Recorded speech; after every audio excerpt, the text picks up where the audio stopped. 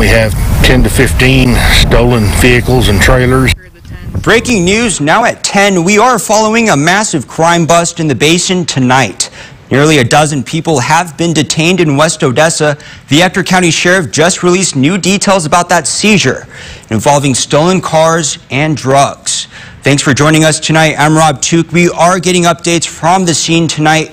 Now, this video, tow trucks have just pulled in to take away some of those cars. Ten people have been detained.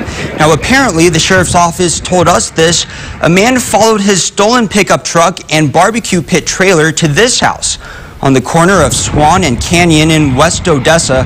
Their deputies later found 10 to 15 stolen cars, but there was more. About 100 pounds of marijuana was seized. An individual in South Ector County uh, observed some individuals stealing a barbecue trailer. He he proceeded to follow these individuals.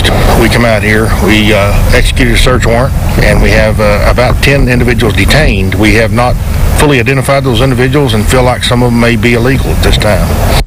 Now, the sheriff's office is trying to get all of those cars back to their rightful owners tonight. The investigation continues. And as